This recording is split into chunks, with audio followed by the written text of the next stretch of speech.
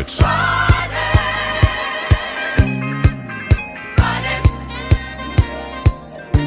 Thank God Good morning, JMB. Today is Friday, September 28th. I'm Caroline Gilmore. And I'm Joey McJilton.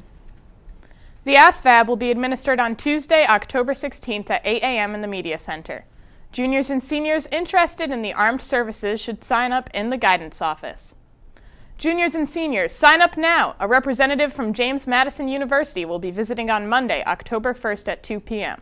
And a representative from Waynesburg University, Palm Beach Atlantic University, and Southeastern University will be visiting on Tuesday, October 2nd.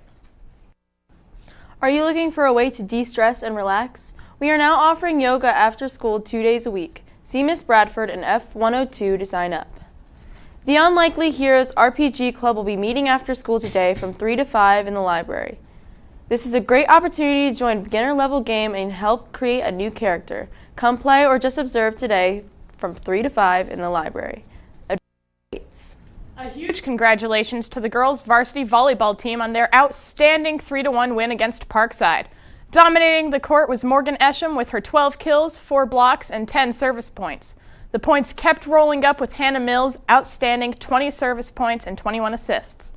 Lauren Illa, Flick Chambers, Brianna Taylor, Hannah Hogeson, and America Rodriguez Hernandez also contributed to the win with an outstanding defensive and offensive game overall.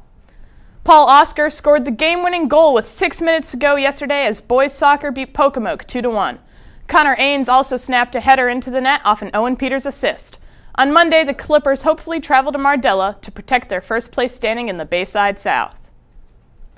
And that's all we have for you today, JMB. Have, Have a great day, JMB.